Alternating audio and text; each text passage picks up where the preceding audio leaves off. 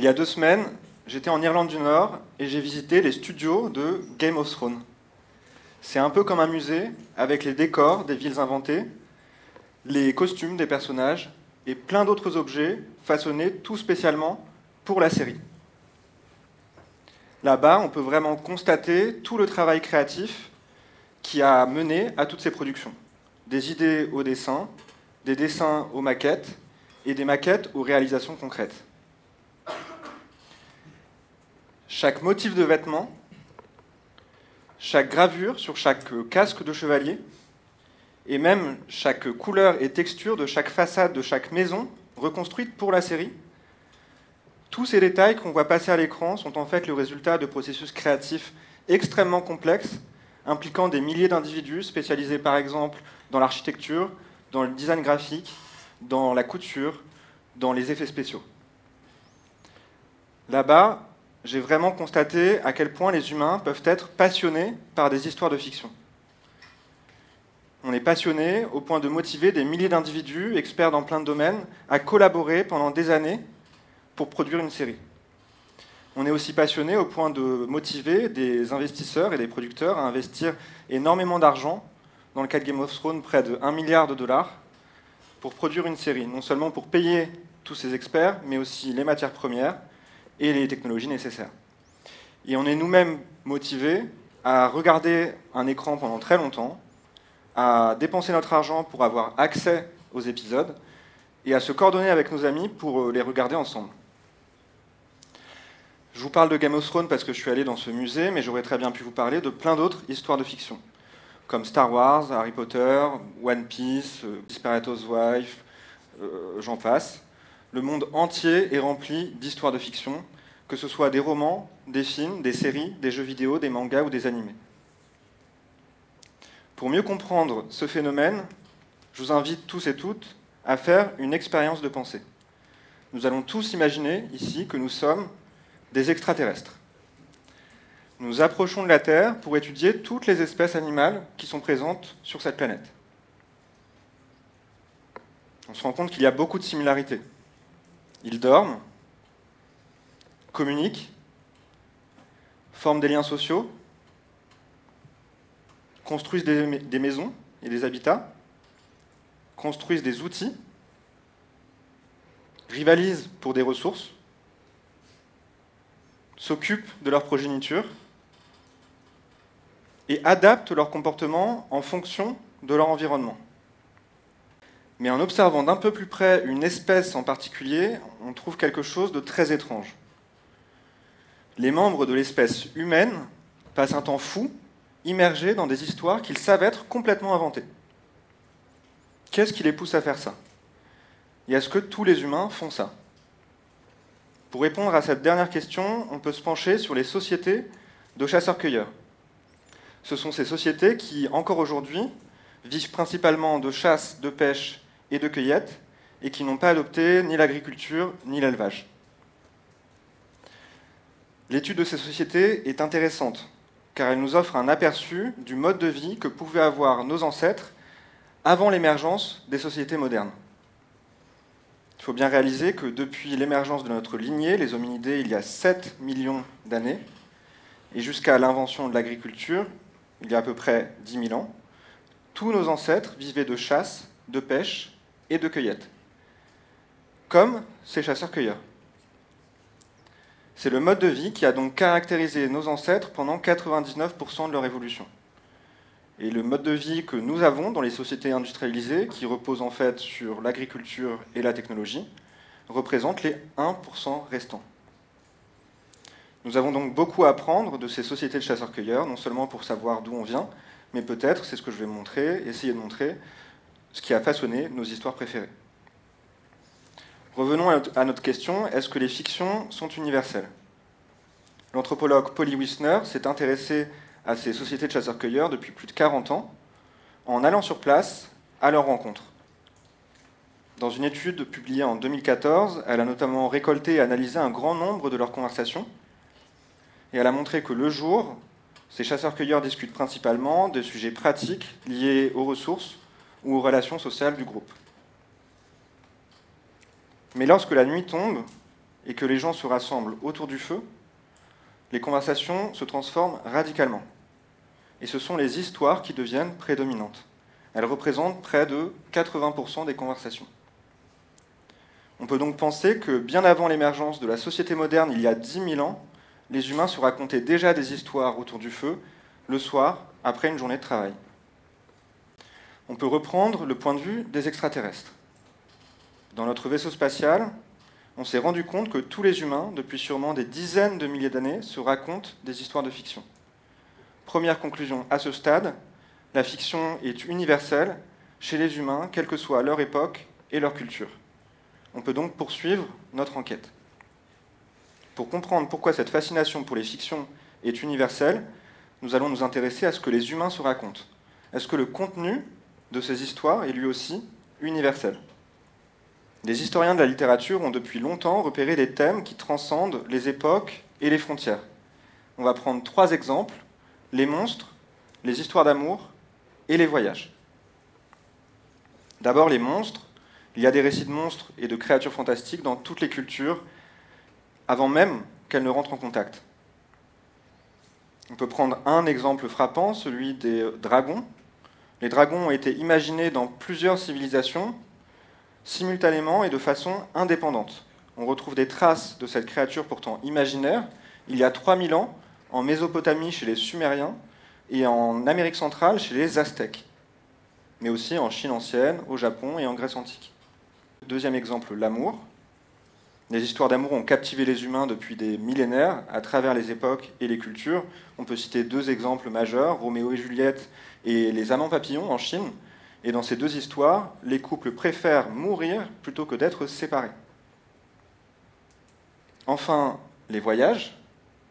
Dans de très nombreuses histoires, il y a des personnages qui voyagent dans des mondes inconnus. On peut penser à l'Odyssée, l'Iliade d'Homère, mais aussi à l'épopée de Sundiata, un récit de l'Empire du Mali, raconté par les griots, les conteurs d'Afrique de l'Ouest. Remettons-nous dans la peau de ces extraterrestres on s'est rendu compte de quelque chose d'encore très étrange. Partout dans le monde et à toutes les époques, les histoires que les humains se racontent contiennent des thèmes très similaires, comme par exemple l'amour, les voyages et les monstres. Parfois, c'est même tout en même temps. Tous les humains semblent connaître ce personnage, qu'ils appellent Harry Potter, et dans cette histoire, Harry Potter, ce personnage, voyage, s'oppose à des monstres, et tombe amoureux. Comment expliquer qu'il y ait autant de thèmes universels et que le contenu des histoires soit universel dans les histoires que les humains se racontent? Pour mieux comprendre, il faut s'intéresser à cet organe que nous avons tous entre les oreilles et que tous les membres de notre espèce ont entre les oreilles depuis l'avènement d'Homo sapiens. Depuis 200 000 ans, tous les humains développent ce même cerveau. Pour mieux le comprendre, on peut tenter une analogie et le comparer à un smartphone. Le smartphone, comme le cerveau, c'est une sorte de machine plutôt complexe qui effectue les tâches plus ou moins difficiles grâce à des applications. Pour le smartphone, l'application téléphone permet de téléphoner. Grâce à l'application notes, on peut prendre des notes. Et avec l'application calculatrice, on peut faire des calculs. Pour le cerveau, c'est la même chose. Et les scientifiques appellent les applications dans le cerveau des programmes cognitifs. Par exemple, grâce au programme du dégoût, les humains restent à distance de ce qui pourrait être porteur de maladies. Grâce au sens de l'orientation, un autre programme, les humains s'orientent dans l'espace. Ces deux programmes sont donc comme des applications dans notre cerveau. Quand vous achetez un smartphone, il arrive avec des applications préinstallées. Et sans ces applications, l'appareil ne servirait pas à grand-chose. C'est l'hypothèse qu'on fait pour le cerveau. Il ne servira à rien sans des programmes préinstallés. Et l'idée, c'est que l'évolution a sélectionné des programmes qui sont les plus utiles pour régler des problèmes récurrents dans notre évolution et liés à la survie ou à la reproduction. Il ne nous reste plus qu'à identifier quelques-uns de ces problèmes et à essayer de comprendre comment ces programmes façonnent les histoires que nous nous racontons. On va reprendre les trois exemples universels de tout à l'heure, les monstres, les histoires d'amour et les voyages. D'abord les monstres. J'ai mentionné des monstres dans la littérature ancienne, mais il y a des monstres dans beaucoup de fictions populaires modernes. Par exemple, on peut penser aux créatures dans Predator ou dans Alien, et enfin à Godzilla. J'aurais pu préciser depuis le début que je n'utilise pas des images des vrais films et des vraies séries pour des problèmes de droit, mais j'utilise des, images parfois régénérées par l'intelligence artificielle, mais je me suis assuré qu'elles étaient fidèles par rapport aux images que je voulais utiliser. Donc la question, c'est pourquoi il y a autant de monstres dans les histoires? La première réponse, c'est qu'on aime se faire peur. Des psychologues comme Matthias Klassen et Coltan Scrivener ont montré que s'intéresser à des menaces potentielles était important pour notre survie. Si important et depuis si longtemps que ça constitue un premier problème adaptatif, récurrent dans notre environnement et lié à notre survie. En, réponse à ce problème adaptatif, l'évolution a sélectionné un programme qui nous permet de détecter les menaces, de détecter tout ce qui pourrait nous faire du mal, comme par exemple les serpents. Les humains ne sont pas les seuls à avoir évolué un programme de reconnaissance des prédateurs et des sources de menaces. Les éthologues, les scientifiques du comportement ont par exemple montré que les antilopes observent avec intérêt les guépards, pourtant leurs prédateurs, quand ce n'est pas trop dangereux, quand les guépards ne sont pas en position de prédation. C'est l'hypothèse qu'on fait pour les fictions. Pour les antilopes et les guépards, cette habitude leur permet d'accumuler de l'information au sujet des guépards, et donc de mieux réagir face à eux dans le futur. L'hypothèse pour les fictions d'horreur, c'est qu'elles nous offrent la même opportunité de nous préparer à des prédateurs, alors que la source de la menace n'est même pas présente. Mais ce programme dans notre esprit n'est pas sensible à toutes les menaces de la même façon. Le plus frappant, c'est que les créatures des histoires ne ressemblent pas à ce qui est responsable du plus grand nombre de morts aujourd'hui. Ces créatures fictionnelles et ces monstre ressemble à ce qui a été responsable du plus grand nombre de morts pendant notre évolution. Les créatures de ces histoires et les monstres ressemblent à ces prédateurs que nos ancêtres ont dû affronter pendant des centaines de milliers d'années, avec par exemple leurs griffes tranchantes, leurs dents tout aussi tranchantes, et leurs pattes velues. En fait, à force d'être confrontés à ces prédateurs durant leur évolution, le programme de détection des prédateurs s'est calibré pour les détecter automatiquement. C'est pour cela que vous connaissez sûrement des gens qui ont une phobie des araignées ou des serpents, alors même que vous ne connaissez sûrement personne qui est mort d'un serpent ou d'une araignée. A l'inverse, personne ne sursaute ou ne se met à courir à la vision d'une cigarette, par exemple, alors qu'il est bien plus probable que vous connaissiez quelqu'un qui est décédé d'avoir trop fumé. Ce programme préinstallé explique donc pourquoi les monstres dans les fictions ressemblent à des araignées ou à des reptiles, mais pas à des paquets de cigarettes. Maintenant, parlons d'amour. Les histoires d'amour et les relations romantiques sont au cœur d'énormément de fictions modernes, comme Bridgerton, La vie d'Adèle, Titanic. Pour expliquer ce succès, il faut d'abord noter que former des couples stables et durables était un vrai atout durant l'évolution, non seulement pour notre survie, mais aussi celle de notre progéniture. Je ne sais pas si on est tous d'accord, je pense qu'on l'est. Rester en couple longtemps, c'est un vrai défi. Un défi si important et si récurrent durant notre évolution que c'est un deuxième exemple de problème adaptatif. Pour résoudre ce problème, l'évolution a sélectionné un programme supplémentaire qu'on peut tout simplement appeler l'amour romantique. Des résultats en neurosciences suggèrent que tous les humains peuvent tomber amoureux grâce à l'existence de ce programme préinstallé. Nous le partageons d'ailleurs avec de nombreux animaux, qui montrent tous les signes qu'ils tombent eux aussi amoureux. Deux individus se rencontrent, apprennent à se connaître, se choisissent, élèvent des enfants ensemble, s'entraident et restent ensemble jusqu'à la mort. C'est le cas pour les éléphants, pour les hippocampes, mais aussi pour une espèce de perroquet qu'on appelle pour cette raison les inséparables. Comme l'a montré la psychologue Catherine Salmon, les histoires d'amour profitent de l'existence de ce programme préinstallé chez tous les humains pour nous offrir des histoires romantiques fascinantes. Enfin, les voyages. Les fictions nous font souvent voyager dans des univers fantastiques. On peut penser à Hyrule, à Westeros, à la Terre du Milieu, à Poudlard. Pendant des centaines de milliers d'années, nos ancêtres devaient explorer des mondes inconnus pour trouver des nouvelles ressources, trouver des informations et assurer leur survie. C'est un autre problème adaptatif et un programme cognitif a donc évolué pour nous pousser à explorer l'inconnu. Et c'est un programme qu'on partage d'ailleurs avec d'autres animaux qui eux aussi parcourent de longues distances pour découvrir de nouvelles zones de reproduction ou de nourriture.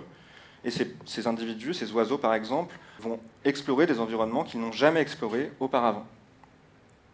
L'hypothèse que je défends dans mon travail de thèse avec mon directeur de thèse Nicolas Baumard, c'est que les mondes imaginaires activent ce programme préinstallé lié à l'exploration. Et nous sommes donc poussés à vouloir les explorer.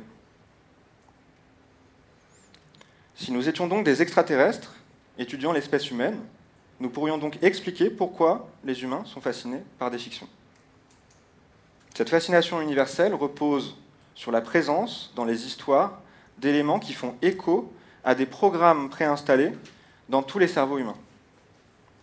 Depuis des centaines de milliers d'années, ces programmes nous permettent de résoudre des problèmes adaptatifs dans notre évolution, comme par exemple repérer des prédateurs, former des couples durables ou explorer des environnements.